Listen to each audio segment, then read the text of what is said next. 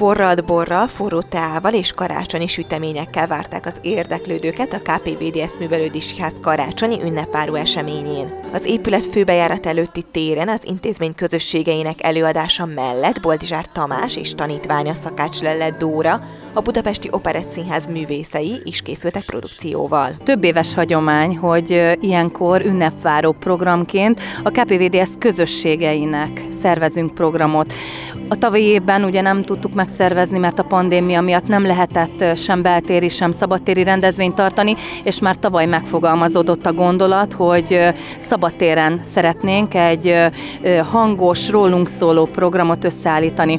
Úgy döntöttünk a KPVDS senior vezetőivel, hogy ezt a programot a mai napra tesszük, és meghívjuk az Operett Színház művészét, a volt tanítványunkat, Boldizsár Tamást, hogy egy ide szóló hangulatában, küllemében ideillő élő programot varázsoljunk itt a KPVDS művelődésihez valamennyi csoportjának és tagjainak. Minden évben egy csengő szóval szoktunk kezdeni, ez nem most sem fog elmaradni, és egy ideillő gyönyörű versel.